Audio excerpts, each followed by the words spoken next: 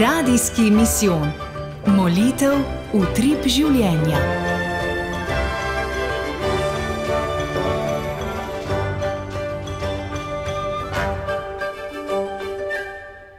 Dragi poslušalci, vstopili smo v peti dan radijskega misijona, ki nosi naslov Božje usmiljenje je neskončno. Zdaj le v našem misijonskem jutru živo pozdravljam kapucinskega brata Miha Sekulovnika. Pozdravljeni, dobro jutro. Dobro jutro.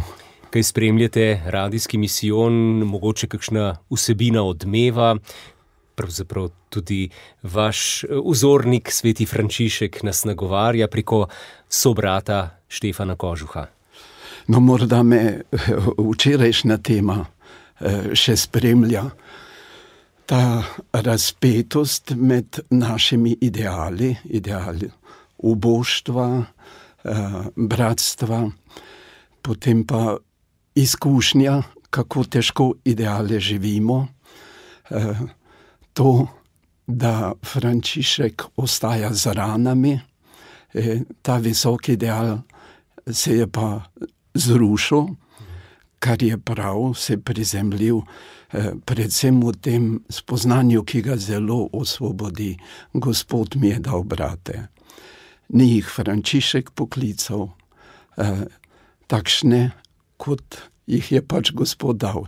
Sprejema drugega, saj mislim, da tudi ali v samostanu ali v družini kar nekaj časa porabimo za to, da bi drugega na naš kalup spravili. A je to kar tako jalovo početje? Ja, zgrešena investicija. Bi se reklo v ekonomskem jeziku. Brat Miha Sekulovnik, danes bova skušala v tem misijonskem jutru storiti korak naprej, torej skrušeno srce, ki se odpira Božjemu usmiljenju. To je tema današnjega dne. Krščanski nauk uči, da je Bog usmiljen. Imeli smo celo leto usmiljenja, ko smo se vanj še bolj poglabljali.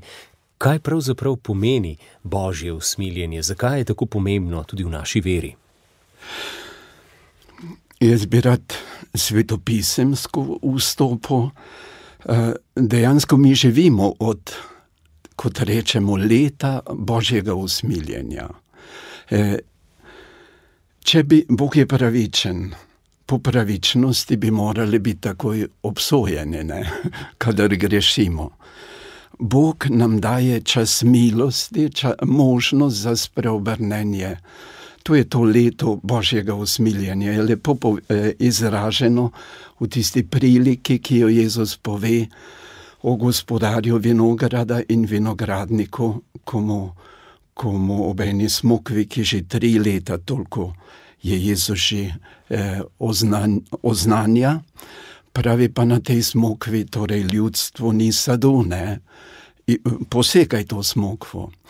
Pa tako Jezus, kot da se pogovarja z očetom, on je naš zagovornik pri očetu. Še vedno, ampak ta čas bo minil, pride tudi, pride tudi čas sodbe, seveda, to moramo zares vzeti. Ampak zdaj živimo v tem letu usmiljenja, v času milosti, možnosti, da uredimo svoj odnos z Bogom in med nami. Torej Jezus kot sin svetuje očetu: "Potrpi še malo, eno leto jo še vkopljem, pognojim, morda pa potem le obrodi sad." Vemo tudi, da je v dnevih velikega tedna, torej podzvetni nedelji, na neki način preklel smokvo, na kateri ni našel sadu. Se sliši težko, da je preklel. Pač je rekel: "Naj nihče več na tebi ne išče sadu, ker zavajaš z listi, z videzom." Mi ljudje zavajamo s šminko, karkoli že, ne. Rodovitnosti v nas pa ni, ampak ta suhi les, ko se smokva posuši, je les križa, ki nam bo prinesel največji sad, ne. Božje usmiljenje ima izkušnjo Izraela, torej stare zaveze, eh, je vedno povezano z zve, božjo zvestobo zavezi. Eh, človek zvestobe v zavezi ni sposoben držati, ker grešimo, ker nas odnese.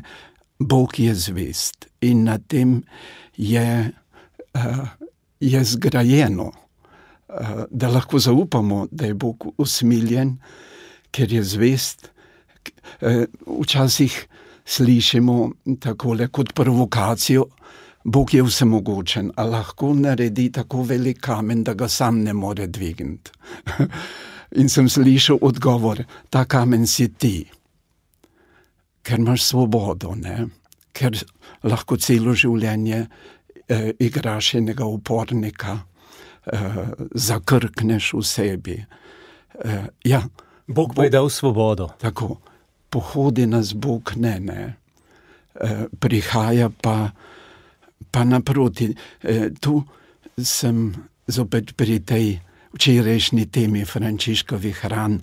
Eh, hebrejska beseda eh, rana, habora, pomeni tudi prijatelj. In Jezus bo v dvorani zadnje večerje učencem rekel, ne imenujem vas več služabnike, vas sem imenoval prijatelje, ker sem vam razodel vse, kar sem slišal od svojega očeta.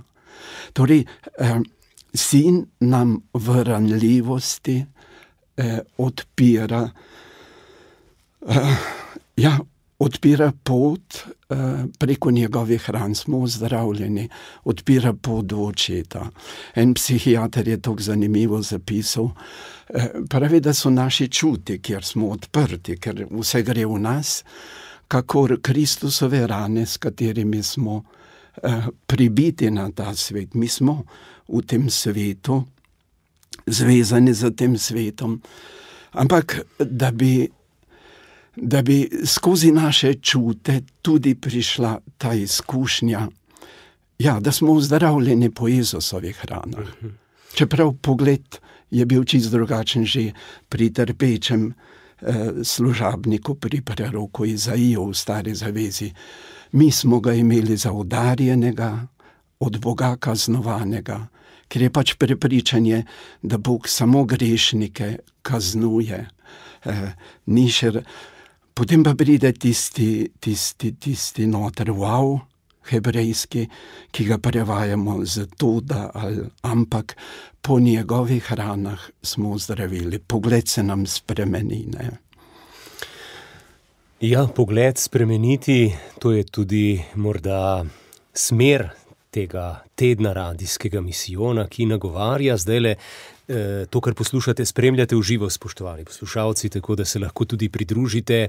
Nič ena, 512, 10, nič, nič je naša telefonska številka. Brat Miha Sekulovnik, pa gost, seveda je zelo pomembno tudi to, da se sploh zavedamo svojih napak, svojega greha. Eh, žal to v današnjem času sploh ni samoumevno. Ampak eh, vera nas uči, da je Bog večji tudi od vsakega našega greha. Odpuščanje je največje znamenje božjega usmiljenja. Kdaj smo lahko deležni tega usmiljenja, kako ga lahko pravzaprav posameznik izkusi v vsakdanjem življenju? Ja, mislim, da je temeljno zavedanje greha.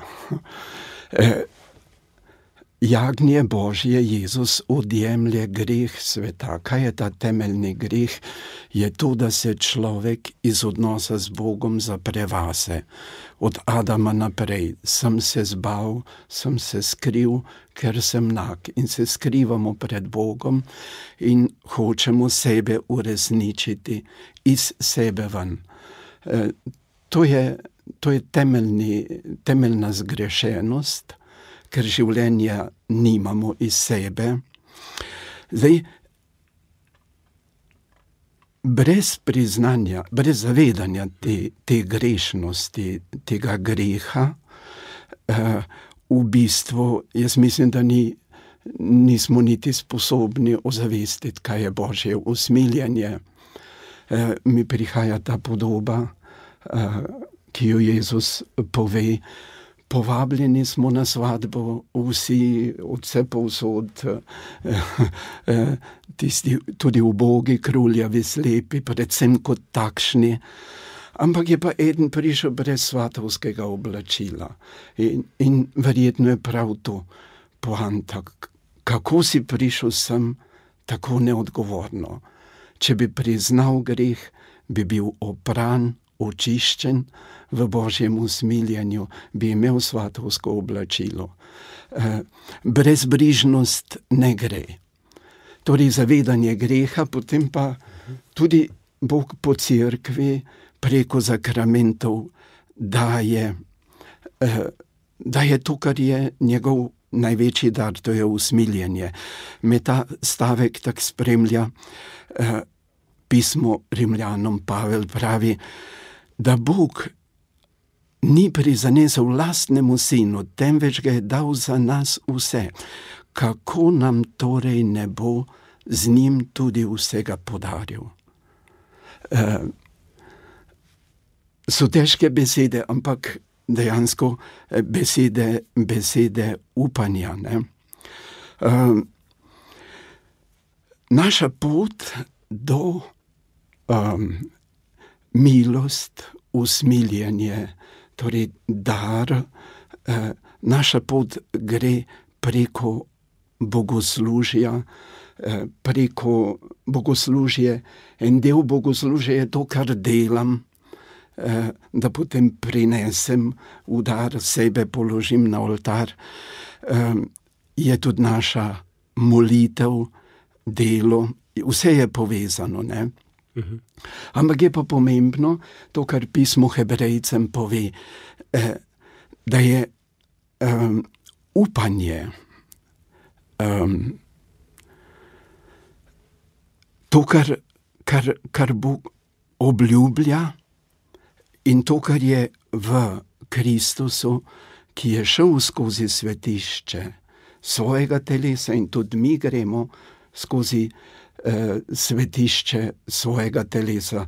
Eh, nekako Bog je Mojzesu 40 dni na, na gori razlagal, kako naj naredi shodni šotor, ki je svetišče, je dvorišče, je sveto in presveto. Kar je nekako podoba fizičnega, duševnega, pa duhovnega sveta. Eh, na koncu je to naše srce, ki je lahko kamnito, meseno, predvsem pa duhovno. Uh, duhovno srce se nam razodeva, Bog se nam iz naše notranjosti razodeva, je že onkraj smrti. Um, v Jezusu, ker smo krščeni, vanj smo že v bistvu v presvetem, bi rekli v nebesih, eh, ker je sin na očetovi desnici. Ne? In to je naše upanje tudi fizično še živimo, tudi duševno, tudi pa duhovno, tudi. ampak pravi, to upanje za nas je kakor varno in zanesljivo sidro duše, ki sega v notranjost, za zagrinjalo. To pomeni, je že zagrinjalo, pomeni smrt, ki nam preprečuje, da bi bili z Bogom. Tako iz obličja v obličje. Mi smo v Kristusu že na drugi strani. Tako da nas ta strah zase, ko se kot Adam skrivamo, eh, ne požira več. Eh, se je Jezus zelo jasen, kdo hoče svoje življenje rešiti, ga, ga bo izgubil. Ne? Tako, eh, povzet, povzeto, najprej zavedanje greha, šele potem sem sposoben eh, se obrniti k Bogu, ki je usmiljen, prositi. Eh, in to sidro moje duše, to upanje, mora biti v njem. Mhm. Ja, to je ključno za še bolj, mislim, velja res za današnje čase, zavedanje greha, ki ga tako ali tako eh, najraje odrivamo in eh, se ga izogibamo, tega priznanja. Uh, nič ena, 512, 10, nič nič, uh, vabljeni, da se pridružite, spremljate misijonsko jutro. Brat Miha Sekolovnik je naš gost, o božjem usmiljenju govorimo. No, velika glasnica božjega usmiljenja je bila sveta Faustina Kovalska, tudi nekateri drugi svetniki, ampak ona in drugi so doživeli razodetje. Uh, kako lahko božje usmiljenje občutimo mi, ki tega razodetja nimamo? V veri, samo v razumu, ali gre tudi na čustveni ravni? Uh, to pomeni po knjigi razodetja. uh, je tam, kjer je Bog prestol milosti, prestol usmiljenja. In temu uh, smo povabljeni, da se z zaupanjem bližamo temu prestolu. Ne? Eh, to upanje je v nas položeno. Ne? Ampak eh, tudi pri Faustini Kovalski, recimo, ali pa pri mm, eh, Patropiju ali kjerkoli, ne, ki, ki so toliko govorili o božjem usmiljenju, je pa zavedanje greha izhodišče. Ne. Spet smo pri tem. Ja. Če gledamo knjigo razodetja, prva tri poglavja, eh, kjer je tistih sedem crkva, pomeni dejansko, kjer Jezus prihaja. Eh, in prva crkva je v Efezu, da je priznanje, da se da, da, da, da dobro delajo, recimo, ne? ampak vedno upozori, eh, tule, tu pa grešite, spreobrni se. Torej, sedem crkva. Eh, poznejše eh, naslednje crkve so zelo povezane s eh, preganjanjem kristijanov takrat. Ampak tudi te preizkušnje, skušnjave moramo prestati, ker vedno pove: Zmagovalcu bom dal. Recimo v crkvi v Efezu, Efez pomeni ljubljena. Če pademo iz tega zavedanja, da smo ljubljeni od Boga, Janez, ki piše razodetje, je učenec, ki ga je Jezus ljubil. E, to je vsak od nas. Ampak e, mi težko to napišemo zase. res je. Res sprejeti božjo ljubezen. Pravi, tam opozarja, gledaj, odkot si padel ven. Iz božje ljubezni si padel, vrni se nazaj, spreobrni se in tam obljublja zmagoval tistemu, ki bo zmagal to, ki se bo vrnil, ki se bo spreobrnil, mu bom dal jesti od drevesa življenja. Uh -huh. e, to je od Adama naprej, e, nedostopno zaradi, zaradi greha. To pomeni, to, kar razodeva recimo Jezus Fas, Fas, eh, Faustini Kovalski, ne? njen dnevnik je neverjeten, ne? kaj vse pretrpi, ampak lahko, ker je odnos z Jezusom tako močan, ne? je živ, da ne padeš ven iz tega, mi smo kot crkva, smo ljubljena nevesta, kot človeštvo, se Jezus. Eh, sebe daruje za, za celotno človeštvo. Eh, prav, razodetje tega prestola milosti, eh, ki je razodetje Boga v nas, se ne zgodi na razumski ravni se ne zgodi na ravni čustev, so pomembna. Jaz temu rečem ne v glavi, ne pri popku, kjer smo čustveno. Mali otrok je, je samo čustvo, razuma še ni, ne? če je jezen, je jeza. Nas tudi preplavijo, razodetje se dogaja na ravni srca. Tule bova naredila kratek premor, brat ja. Miha nadaljujeva iz te ravni srca, pa sprejmeva prvi klic. Lepo zdrav v Ajduščino. Eh, dobro jutro, dober dan, gospod Zdravko. Dobro jutro, ja, eh, pozdravljam gospoda Patra. Eh, jaz sicer hodim v crkvo, ampak meni se zelo mešajo te misli. Ko čitam Biblijo, zdaj, jaz imam tudi v sorodstvu gospoda Simona iz Ajduščine uh, se mi postavlja vprašanje, ko reče Bog eh, Mojzesu. Moj hrbet boš videl, mojega obraza pa ne. In tukaj se mene mešajo pojmi, zakaj obraza ne, ampak hrbet. Uh -huh. Ali je to eh, glede iskrenosti, ali kaj je to? K kaj je zadej? Zadej je hrbet, ja, ne, ampak. ja. ja, no, ampak ja. hrbet boš videl, obraza mojega pa ne. Ja, to, ja. to se mi zdi malo, ne vem, eh, kako bi rekel. Eh, mešajo se mi pojmi. No? Ja, dobro, hvala lepa, hvala ja. lepa za vprašanje. Ja. Torej, bolje rečeno, kaj je spredaj in zakaj tega eh, naj ne bi videl niti Mojzes. Hvala, gospod Zdravko. E, tako je obličja, iz obličja v obličje z Bogom bomo onkraj zavese, ki je smrt. To pomeni, ko bomo e, gledali res samo z duhovnimi očmi. Eh, svetišče je zgrajeno tako zunaj, na dvorišču je naravna svetloba. V svetem, kjer, eh, kjer, je, kjer je mm, v bistvu naš duševni, naše duševno telo, tam je tista menora, svečnik, kjer je svetloba z olčnim oljem, teh sedem krakov, sedem, sedem luči sveti. Predstavlja predvsem naš na duševnem telesu naš um, eh, eh, ki mora biti tudi razsvetljen. Za nas je to sveti duh, ampak je že takrat eh, jasno zavedanje, maziljenje z božjim duhom. Ne? Potem je kadilni oltar, predstavlja na nek način, kakor kadilo naj se dviga moja molitev k tebi, ne? to hrepenenje srca po Bogu. Potem je miza položenih kruhov, Eh, ki so jih menjali vsak dan, jih je 12, kar je zelo pomembno. 12 rodov občestveno je, ne? vsi skupnost. morajo biti tam, skupnost. Eh, v presvetu, kjer pa ni svetlobe, je tema, pa vstopi lahko samo veliki duhovnik.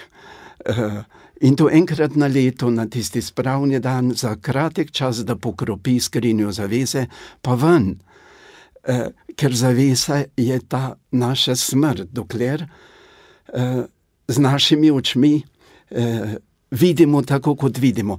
Mi je pa pomembno tam o tem odlomku, ko govorite, eh, je Bog Mojzesa skril v, v skali, v, v tako.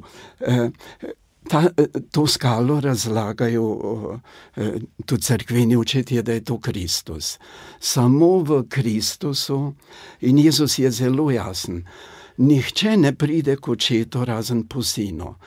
Samo v sinu lahko gremo do očeta. In, in, in um, ja, mi zdaj v veri sidro naše duše, to pomeni vera, upanje, ljubezen, smo že tam.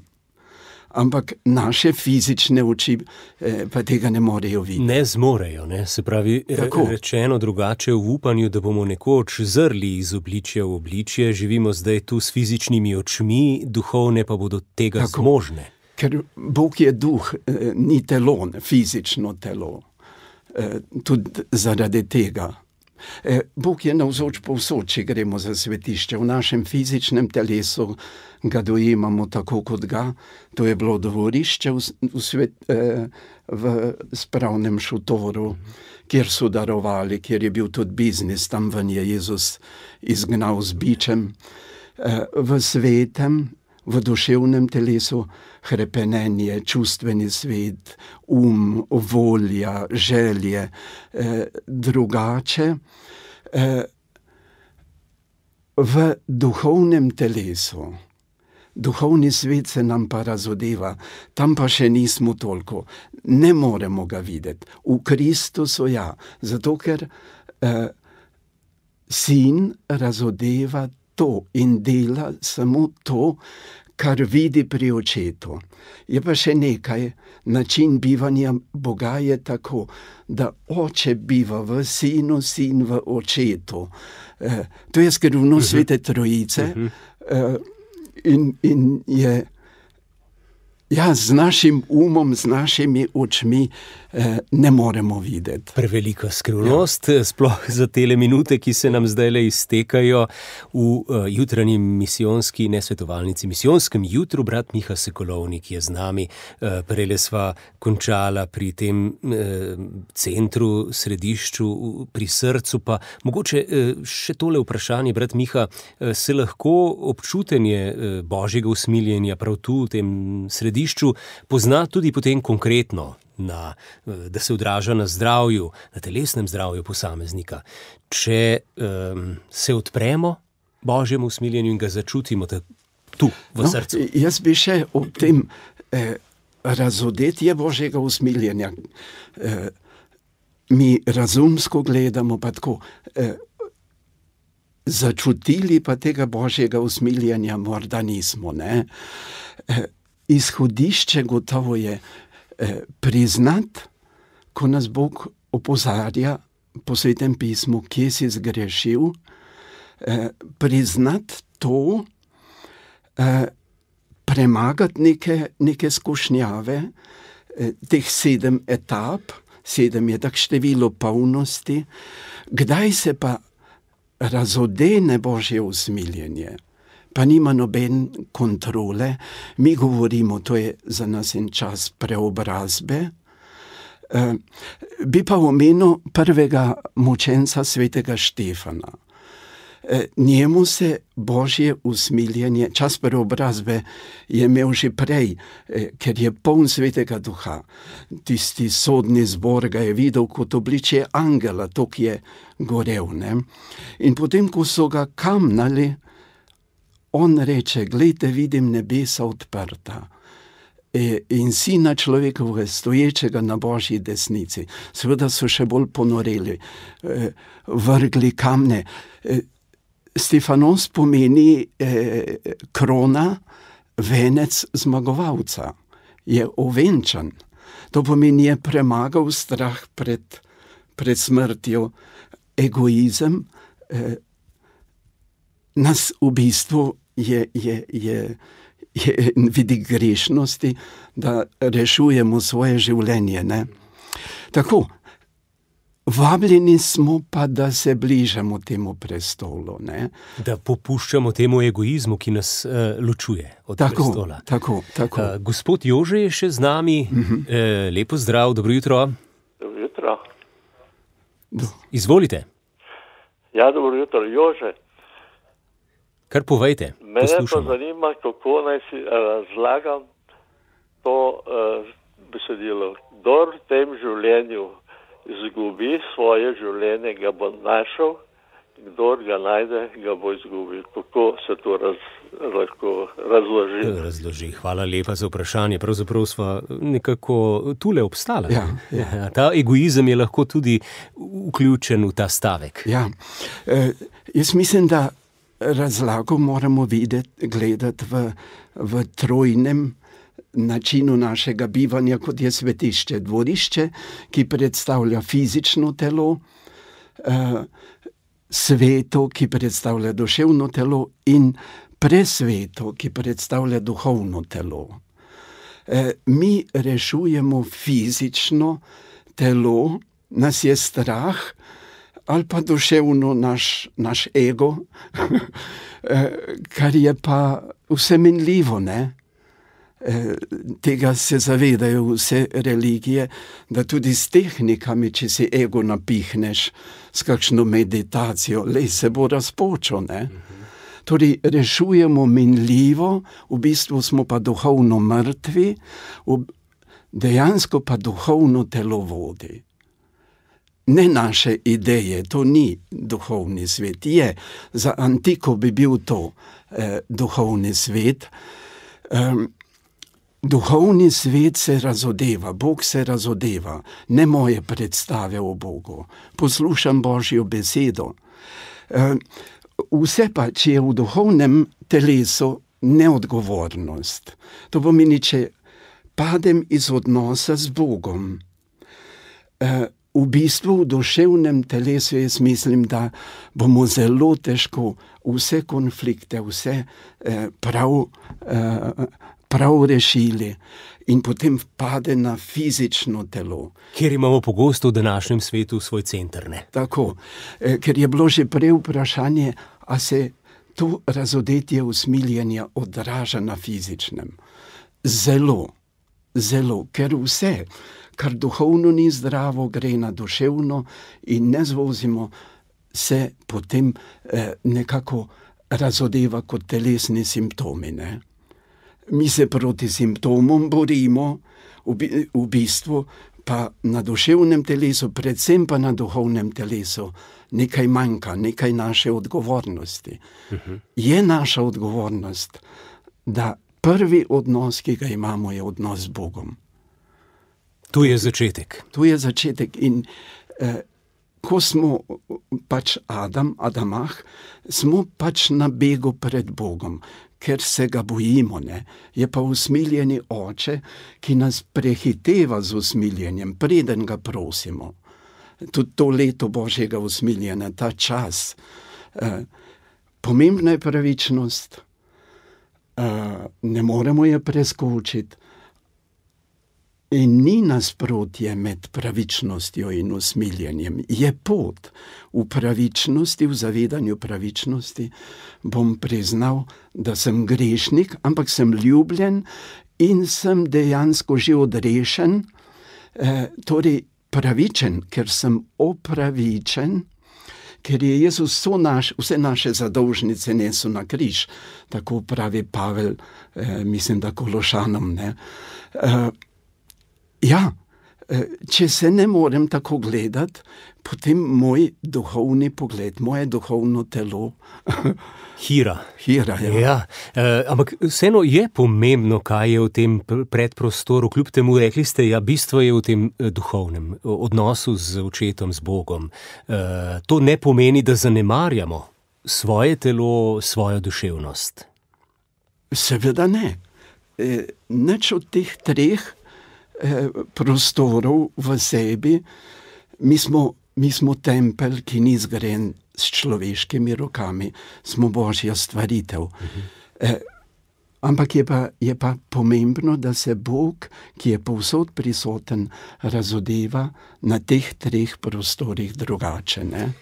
In za sklep, ker smo pri koncu, brat Miha, morda še kakšna osebna izkušnja, pričevanje, ki govorijo o moči božjega usmiljenja.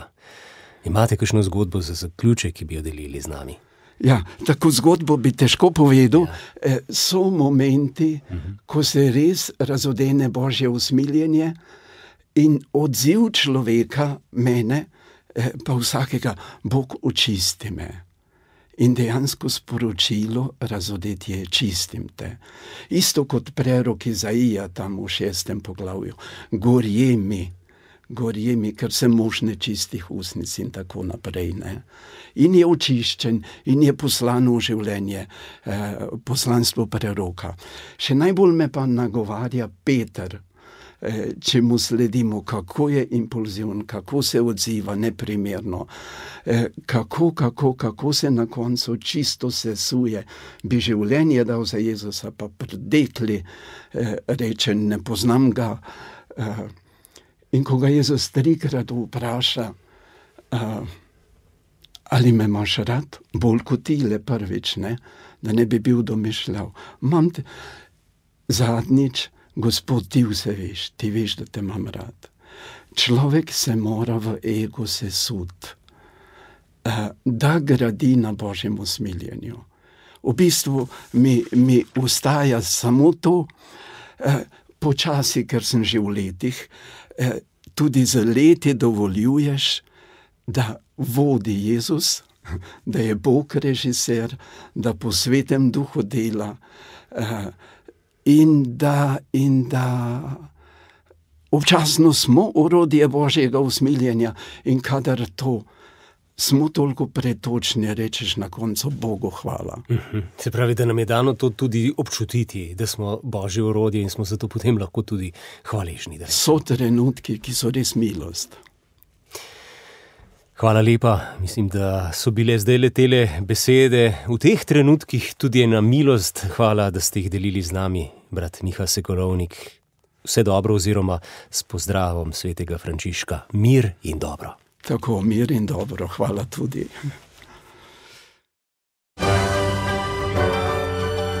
Radijski misijon. Molitev v trip življenja.